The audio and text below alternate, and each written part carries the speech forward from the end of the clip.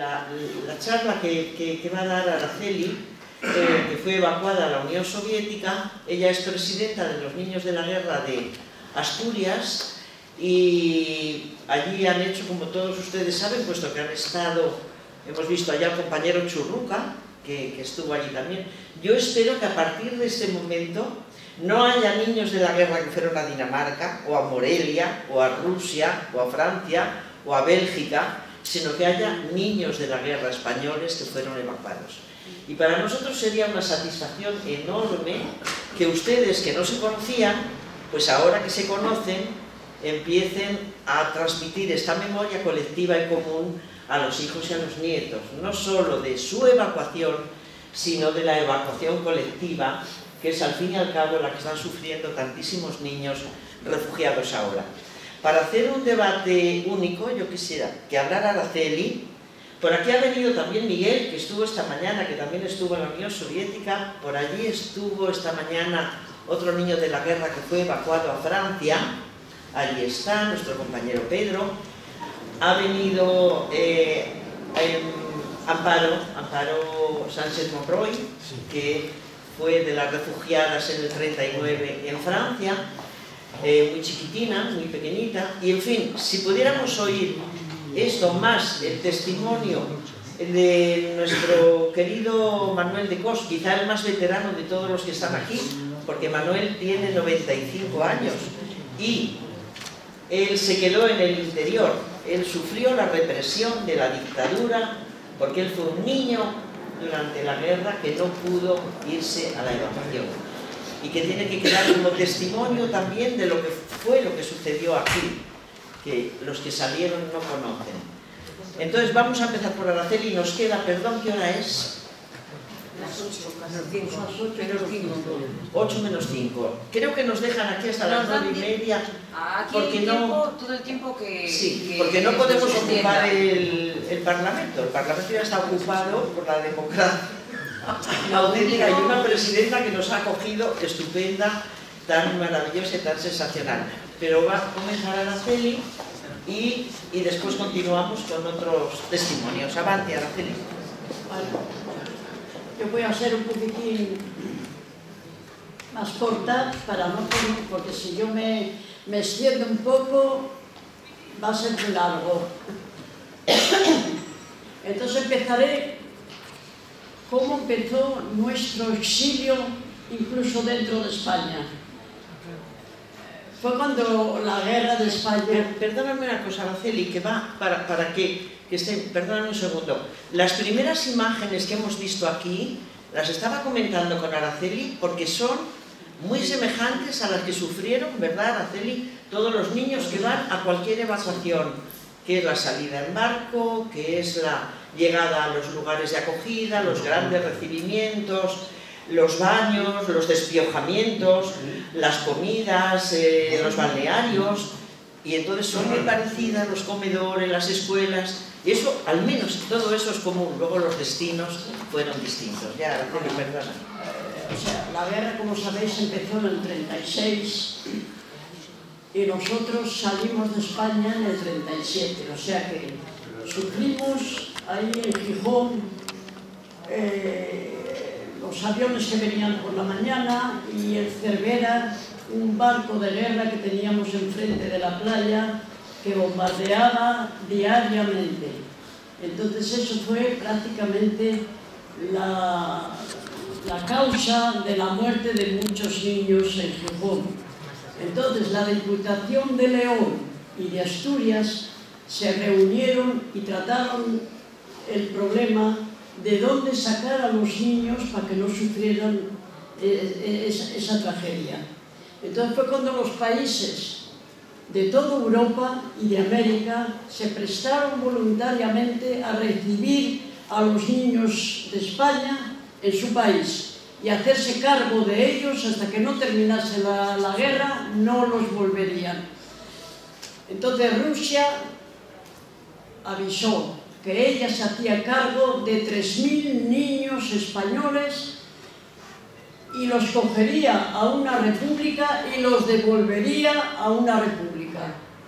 Entonces fue cuando empezaron a hacer listas preguntar a los padres y mis padres tenían seis hijas. Unas pequeñas, una de cinco años, otra de, de nueve años, yo de 13 y las otras mayores.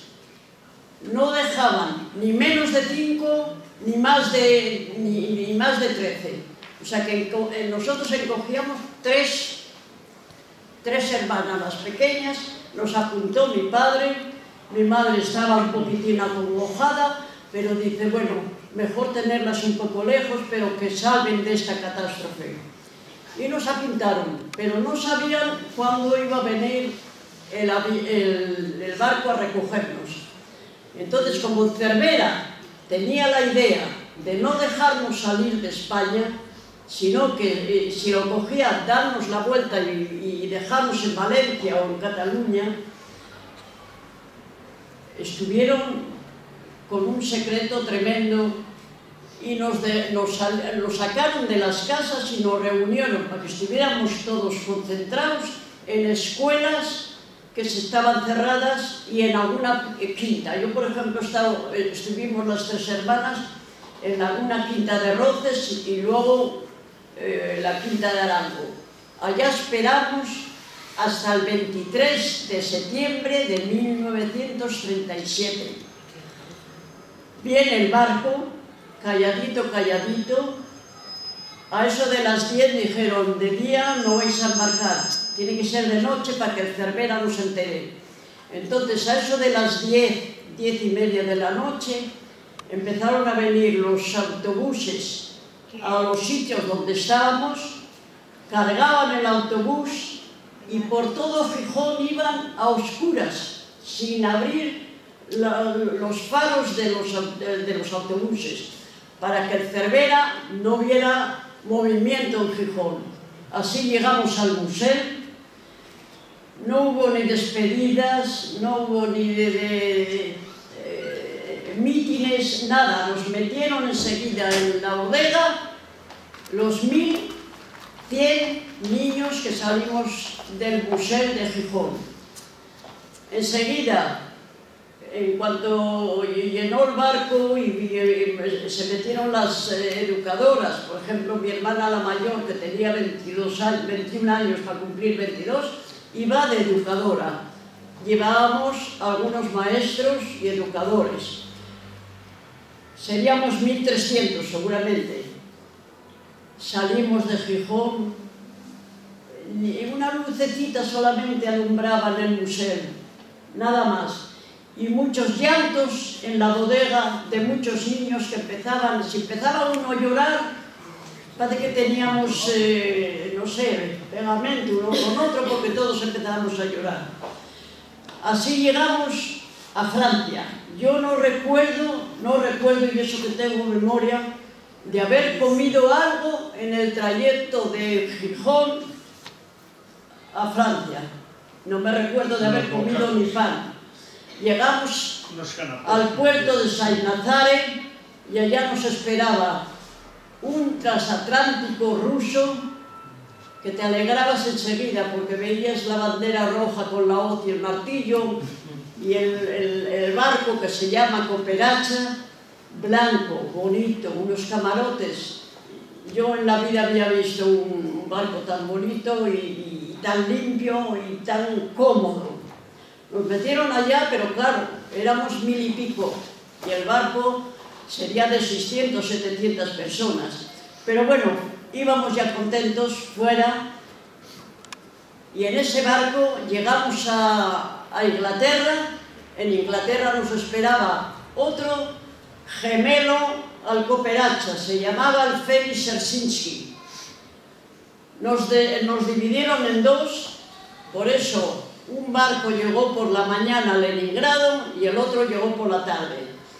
No os podéis imaginar vosotros el recibimiento que nos hicieron allá en Leningrado, mientras que aquí éramos hijos, hijos bastardos, hijos de, padres que había perdido, que, había, que habían estado en, la República y habían perdido.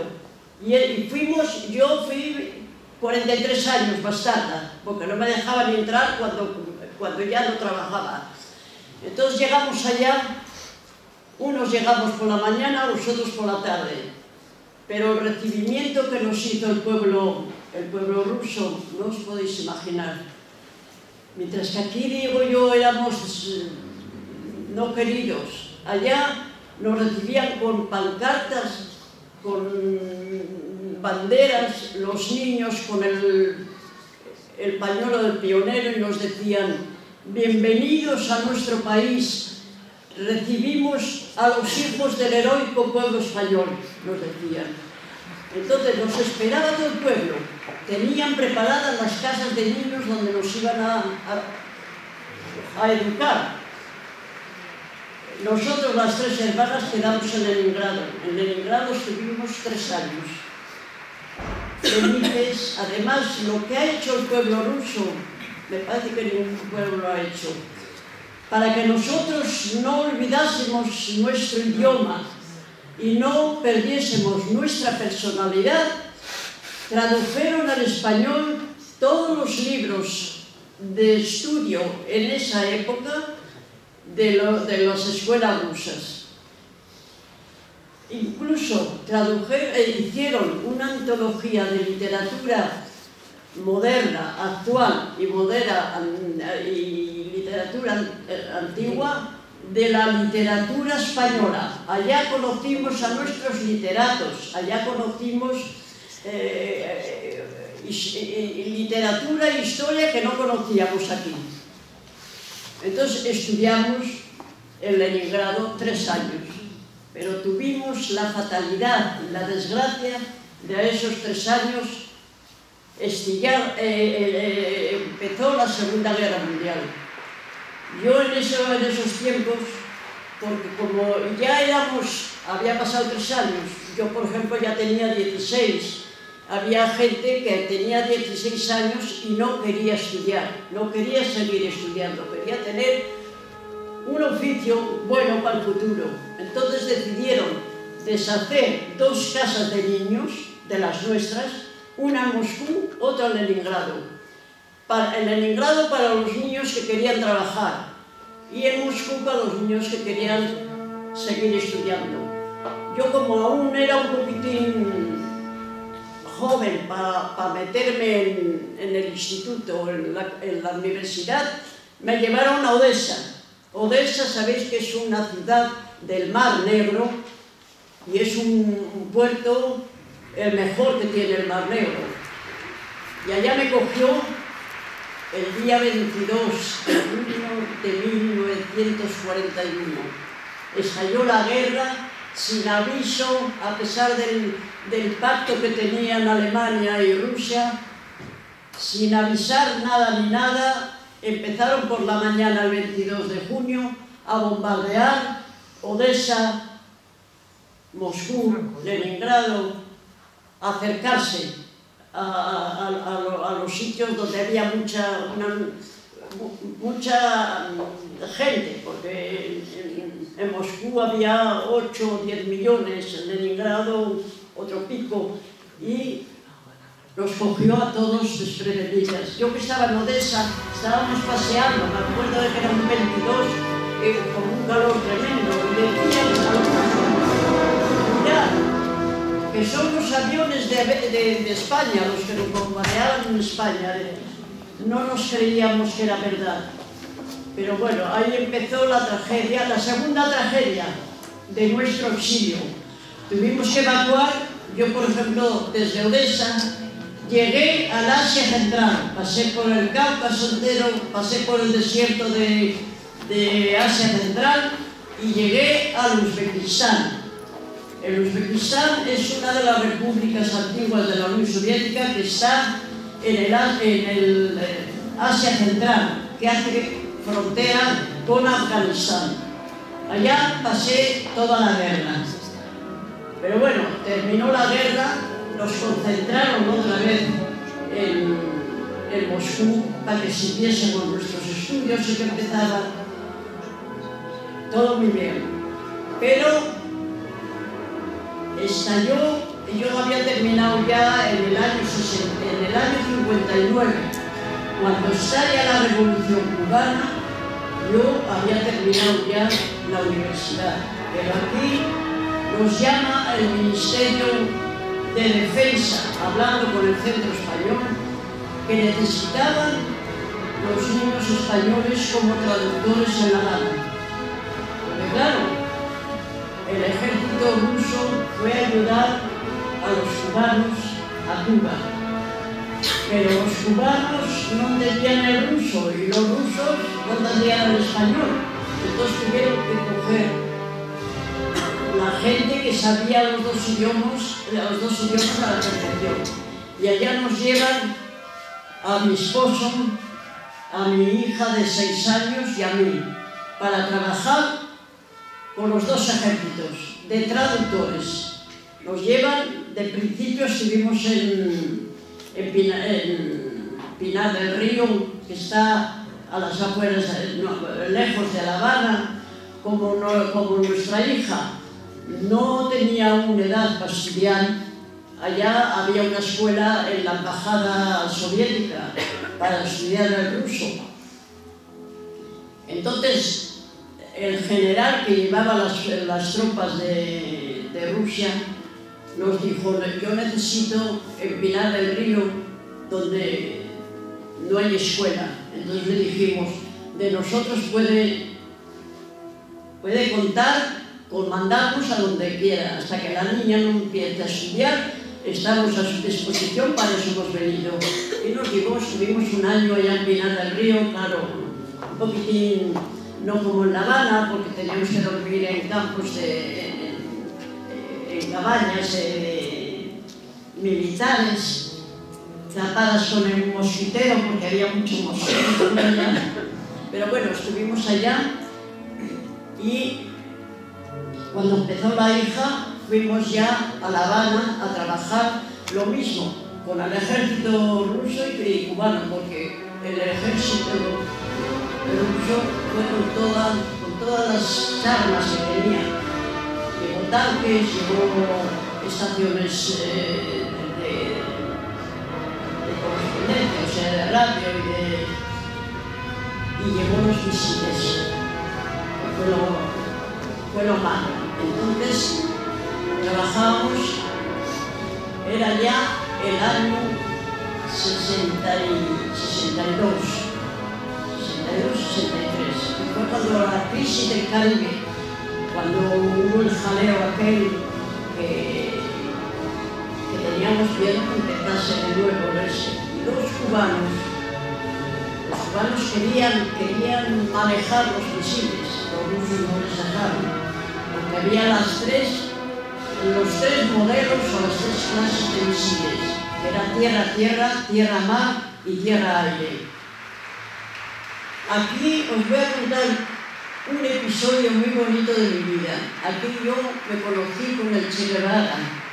Y yo estaba, a pesar de que con mi hermana estaba también, eh, estaba la hermana, los, los dos matrimonios estaban.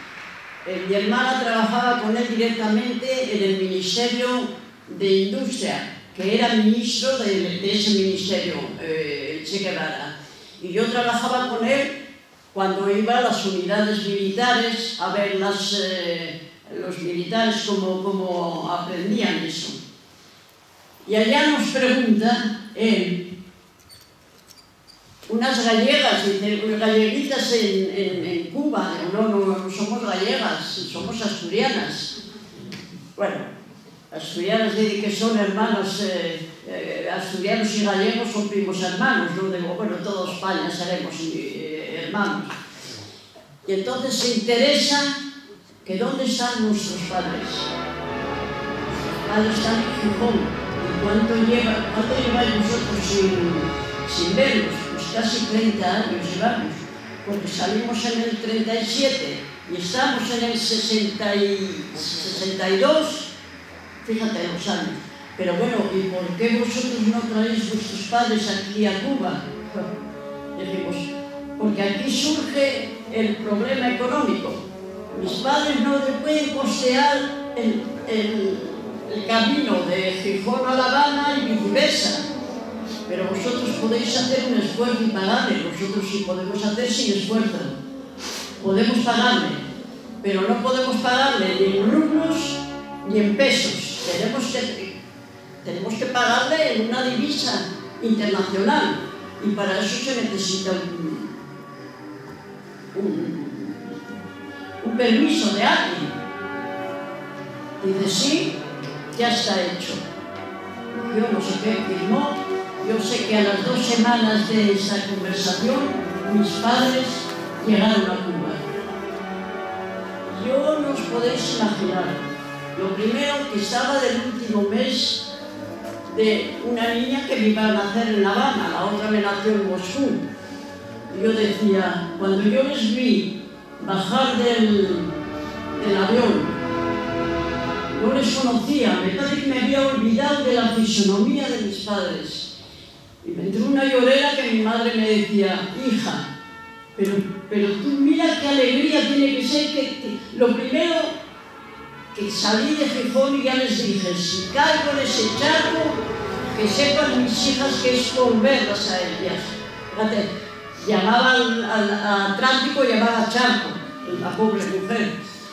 Y cuando le veo yo bajar, bajar por eso, les acompañaban, porque mi madre ya tenía 75 años, mi padre 78. Pero bueno, ahora me comparo yo con los años que tengo y lo que hago yo, digo, bueno, pues mis padres no han, no han hecho ninguna eso porque yo con mis 91 años que tengo,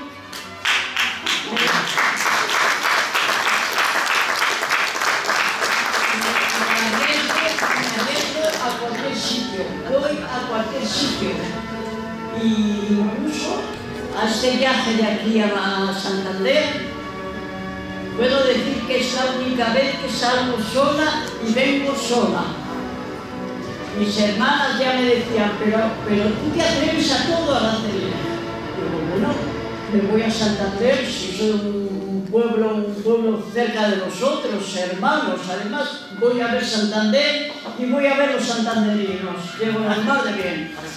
Y me, me aunque cuando llegué eh, pasé un poquitín, sí, porque eh, como no veía a nadie, digo yo, ¿dónde voy yo ahora?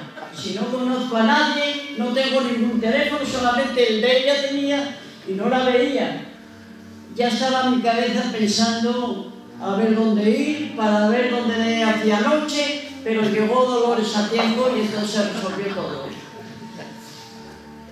Os digo la verdad, yo de mi exilio lo mm, hago pena porque me marché de mis padres, no eh, me casé sin ellos, eso, pero doy un, un alto, un vivo un, al pueblo ruso, el pueblo ruso que es un pueblo que ha sufrido muchísimo con los zares, luego con la dictadura que tuvo, pero es un, pueblo que da con una generosidad todo lo que tiene y recibe con una gran gratitud el agradecimiento que, que, que, que debe eso.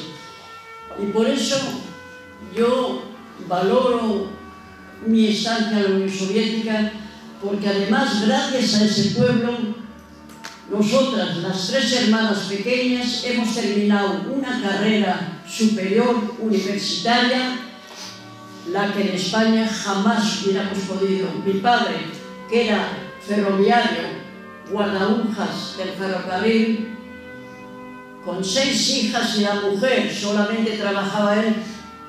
¿Qué carrera podíamos esperar nosotros? La de la que me tocó trabajar cuando yo regresé de España, yo de, de, eso de Rusia.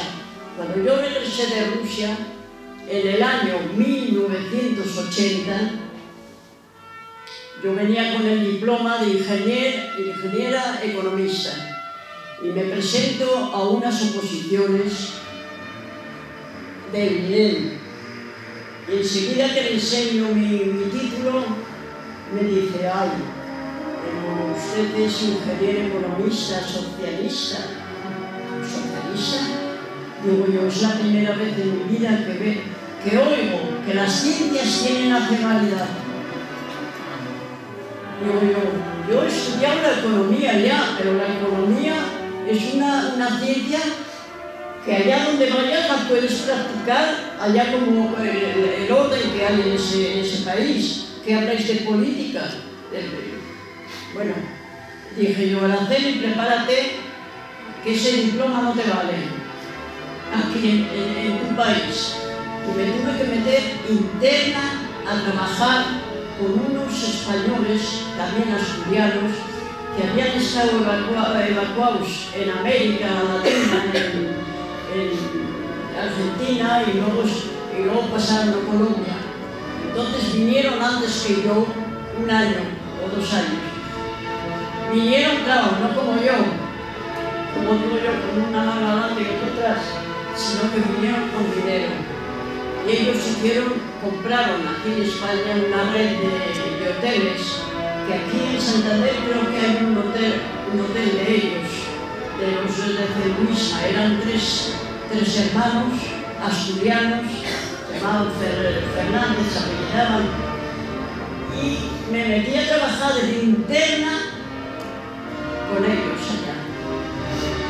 Trabajé Casi cinco años ou seis despois de que vine madre mía. Me, me valió la pena estudiar tan, tantos años para trabajar de, de cocinera y de niñera y de costurera. Digo, pero bueno, era buena gente. El caso, yo digo, el caso es vivir de lo que sea, trabajar. Pero estoy muy agradecida de ellos porque de verdad fueron comprensivos, me ayudaron mucho porque yo vine con una pequeña, con la que me, había nacido en La Habana. La otra se había casado, además era un niño con una niña de la guerra y un coreano, pero había estado en la mili y no le dejaban salir de Rusia. Entonces, si os recordáis, cuando estaba Fernando Morán que fue ministro de Asuntos Exteriores y fue, hizo un viaje a Moscú. Y yo me dirigí a él personalmente, que le dije, digo yo, mira, tengo mis, eh, mi hija ya con mi nieto y mi yerno, y no quisiera que pasase la vida que yo he pasado tantos años separada de, mi, de mis padres ayúdame a, a, a sacarla de, de, de, allá de la Unión Soviética. Dice, y me contestó, no te preocupes, Araceli, que yo llevo el caso de nueve niños de la guerra que no dejan salir de Moscú por ciertas causas. Uno porque haya trabajado en algún sitio secreto, otro porque por algo. Y cuando regresó Morán, a los dos meses, me viene mi hija mi, mi yerno y mi nieto. Entonces, esta familia con la que yo trabajaba me vio un día llorar y me dice, y ahora que viene tu hija te pones a llorar. Digo, pero ¿dónde los meto yo? Si yo vivo con ustedes y mi hija, la pequeña, vive con mi madre, ¿dónde los meto yo? Pues me ayudó. Me dijo, ¿tú tienes algún dinero guardado? Digo, hombre, ustedes me pagan y me dan de comer, yo tengo algo guardado. Pues busques un, piso y, si le guste, de de la entrada. Hice eso, me metí pensando en las, en las letras esas que son las primeras que son, bueno, me arruinar, no me arruinarían porque estaba arruinada ya, pero, pero bueno, me dijeron, nosotros vamos a hacer los cargos de esas letras, las vamos a pegar, a pagar y luego le vamos a descontar poco a poco del, del sueldo. Cuando pasan dos o tres meses, yo veo mi, mi, capital y veo que no han tocado absolutamente. Y voy donde digo yo, Lolo, por favor, haga las, eh, las cuentas los descuentos de mi, de mi sueldo, que no lo veo. No, olvídese eso. No os podéis imaginar lo que eso para mí eso presentó, se presentó de que no me tenía que marchar y que podía, ver, que podía quedar. Y me regalaron casi un millón y pico de pesetas en eso. Y por eso estoy aquí. Porque compré una casa, traje a mis hijos, vivieron conmigo. Y, me encuentro, bueno, contentísima que por fin los últimos días de mi vida los paso en mi tierra con, con, mis compañeros, ahora no tengo ni padre ni madre, las dos hermanas mayores, las tres se han muerto y hemos quedado las tres pequeñas, las tres que estamos aquí, menos estas estamos las tres. La una tiene eh, tiene eh, 80 y 83, 84 va a cumplir, la otra el día 7 ha cumplido 89 y yo he cumplido los 91, voy a por los 92. Pero estamos las tres en Gijón y nos, eh, nos reunimos todos los domingos, cada domingo en la casa de una, porque vivimos las tres solitas a pesar de que tenemos hijos y tenemos nietos, pero yo los tengo en Madrid. Y en Asturias, en el Gijón tengo otra, la que me nació en La Habana. Pero estamos unidas y vivimos, ya te digo, nos reunimos, jugamos un poquitín a las cartas, al, al parchís, y luego tomamos un té, un té estilo ruso, que es, el rico, el el té a estilo ruso no es algo solo, sino es con comida y, y postre. Así que esta es la vida ahora que llevo yo. Así que muchas gracias a vosotros.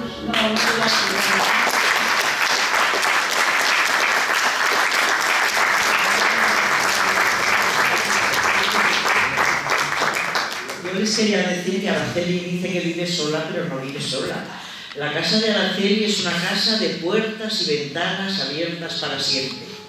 ¿Eh? Araceli, ¿Eh? siempre llena. siempre llena, sí, siempre llena. El que no viene a llorar, viene a reír, pero, siempre llena. Siempre hay gente joven con Araceli que va a su casa, aquí estamos. Ah, no, y ahora la tengo aquí, o sea que no, no la leo. Luego, Quería, no la tengo allá. Quería leeros una poesía que ha escrito un niño de la guerra sobre el día 23 de septiembre cuando salimos, esa noche. Pero está ahí, no quiero... ¿Qué? No, no, arriba. Ahí. Es el famoso día de la salida. Es... Lo escribió un niño de la guerra, que se ha muerto ya. Entonces dice, aquella noche, 23 de septiembre del 37, Miro el museo, miro al mar, impasible ante el reproche, y jamás podré olvidar del drama de aquella noche. La guerra civil mostraba fauces de enorme crueldad. España se desangraba envuelta en nocturnidad. Desde una quinta de roces llegaron aquí al museo mil niños clamando a voces por su suerte de papel. La noche, tétrica noche, agorera en su conciencia colocó un macabro broche en el pecho de la ausencia. Dentro de una embarcación crujieron mil corazones. El dique de la pasión se llenó de lagrimones. Los niños en alta mar hallarían su continente, dejando España detrás, muchos quizá para siempre. Perdieron de vista el puerto que era su último eslabón. El faro se quedó yerto, luminoso y vacilón. El mar, al verles partir, angustiado y peregrino, jamás pudo deducir ni la causa ni el destino. No me atreveré a juzgar nunca aquella noche extraña, pero sí de susurrar, pobres niños, pobre España.